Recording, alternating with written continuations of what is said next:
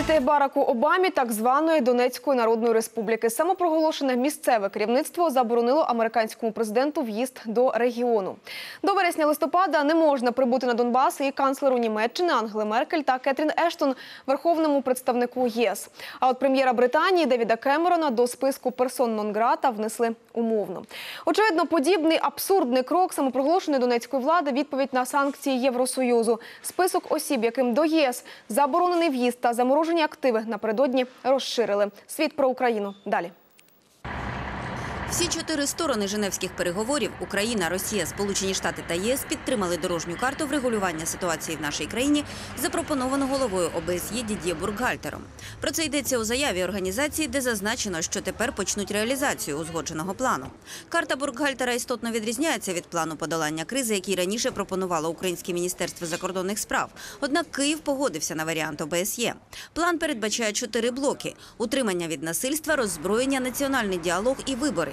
Виступаючи напередодні перед міністрами закордонних справ Євросоюзу, Бургальтер заявив. Президентські вибори залишаються невід'ємним елементом стабілізації. Тож ми повинні врахувати усі нові чинники, які виникатимуть, і зробити все можливе, аби вибори 25 травня пройшли за найсприятливіших обставин. Тож те, що відбувається цими днями, надзвичайно важливе. Тим часом місія ОБСЄ з оцінки дотримання прав людини в Україні повідомила про низку значних порушень у березні та квітні. Йдеться про вбивства, напади, залякування та викрадення. Жертвами ставали переважно активісти, які виступали за Євромайдан, і журналісти. А в окупованому Росією Криму також і українські вояки та кримські татари.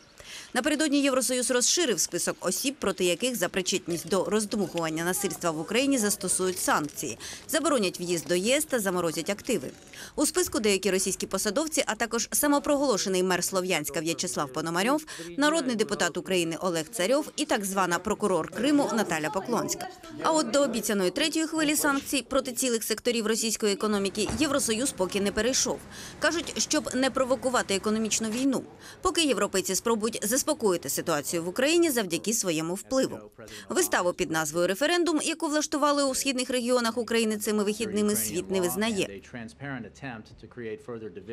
Це не прикрита спроба призвести до ще більших розколу та безладу. На додачу міжнародні медіа зафіксували випадки карусельного голосування, вкидання бюлетенів, допуску до голосування дітей і оголошення результатів до завершення підрахунку голосів.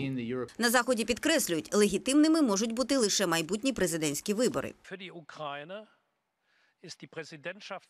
Для України президентські вибори і новообраний президент з новим мандатом це шанс для всіх. Не слід недооцінювати, що частина так званих аргументів сепаратистів це те, що Київ не є легітимним партнером для діалогу. Новообраний президент з новим мандатом може знищити підстави для таких тверджень, а отже, й спонукати до нового діалогу. Європа неодноразово наголошувала на необхідності системних реформ в Україні після цих виборів і висловлювала готовність допомогти.